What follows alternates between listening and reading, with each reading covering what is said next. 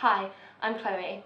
I work at ITG on the Dunelm team and last year over an eight week period we conducted 170 audits up and down the country. Once all the information had been gathered and validated it was then my responsibility to upload it all into Media Centre and I can now confirm that all of it has been uploaded to Media Centre. There were over 200,000 lines of data and over 35,000 photos that are now all up and ready for use. The old information has been archived but can still be accessed and the new information has also been uploaded for use at any time.